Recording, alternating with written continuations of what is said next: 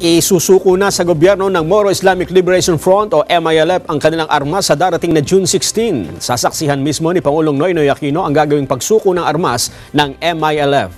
Ayon kay Government Peace Panel Chairman Professor Miriam Coronel Ferrer, isusuko ng MILF ang 55 high-powered firearms. Magbabalik loob din sa gobyerno ang halos 150 miyembro ng MILF.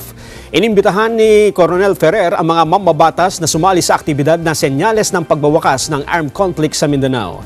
Ito turnover sa independent decommissioning body ang mga armas habang sa sailalim naman ang mga magbabalik loob na rebelde sa registration, verification at validation process.